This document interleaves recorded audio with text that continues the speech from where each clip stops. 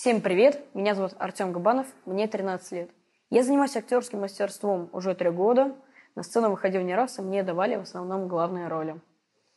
А, также я принимал участие в фестивале «Арт-караван», занял третье почетное место. Также я сейчас нахожусь в золотом составе Талантина, там мы тоже делаем какие-то постановки. Насчет моих навыков, я неплохо владею английским языком, параллельно изучаю немецкий, играю на гитаре, занимаюсь программированием и восточным фехтованием. Это все. Спасибо за внимание. До встречи в кино.